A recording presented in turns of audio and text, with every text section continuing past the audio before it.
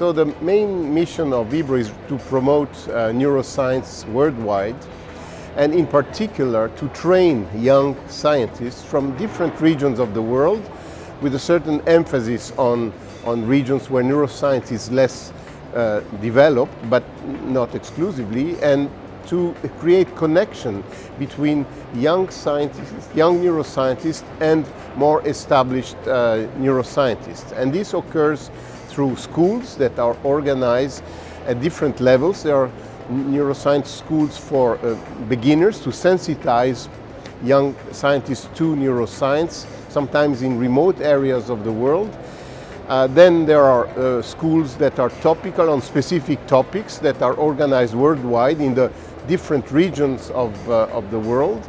And then there are advanced uh, IBRO schools where really uh, the best, ideally the best um, students that participated in the various uh, IBRO schools actually can reach that level and uh, be uh, part of or participate in high-level schools such as Cold Spring Harbor or Woods Hole or other schools in Europe uh, mostly uh, and, uh, and again create a network of uh, these very qualified neuroscientists with more established neuroscientists. Yeah, I think uh, IBRO plays a, an important role because it's at the same time global. Uh, it uh, is involved in neuroscience activity uh, worldwide, so it's a global organization, but because of its regional uh, nature, it also is a local one. So it can actually uh, be informed, sense what are the needs for each individual region, and provide the necessary support which is targeted for these regions. IBRO publishes a journal which uh, actually was one of the first neuroscience journals. Uh, it's published by Elsevier and its title, as most of people know now, I think in the field, is Neuroscience. And this journal uh, is an open forum for neuroscientists from across the world and at the same time, obviously, it aims at very high quality uh, public uh, articles. So it uh, provides a dual role of being an open forum of very high quality uh, papers.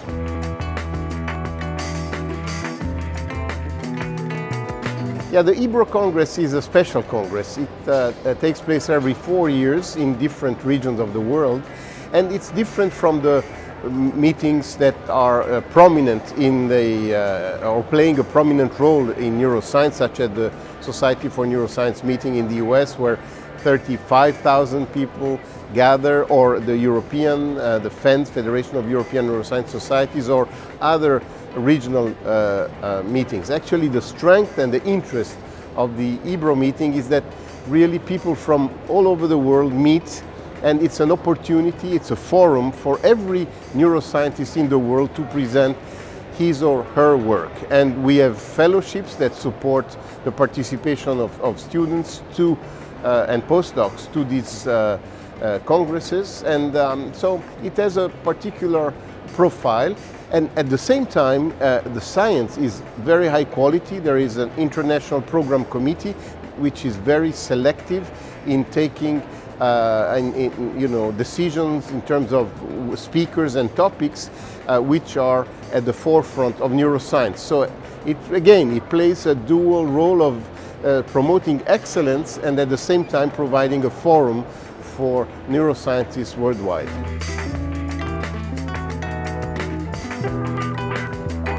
It's the first time that uh, uh, the IBRO Congress uh, is held in Latin America and uh, uh, it's very appropriate because Latin America has been a very vibrant and active participant to IBRO's activities and neuroscience is very developed uh, in countries like uh, Brazil, Argentina, Chile, just to mention a few.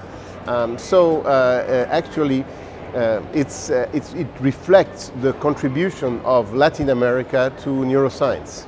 It's a unique opportunity for students to meet with uh, students from other countries, uh, postdocs, faculty. It's really uh, a, networking uh, opportunity in addition uh, to being an excellent uh, scientific meeting. The program committee has, has, put together really a remarkable list of speakers and of symposia which uh, meet the highest uh, standards and the interest from the scientific point of view uh, is certainly uh, quite remarkable. But it has this additional dimension that IBRO is so unique for. Well, of course, Rio is a special place also, and I'm certain that in addition to the scientific um, uh, opportunities and interests that the, the Congress will provide, there are many other uh, opportunities to visit Brazil, which is uh, a fantastic country. Uh, and uh, so I would encourage uh, scientists from other parts of the world to gather in Latin America and take this opportunity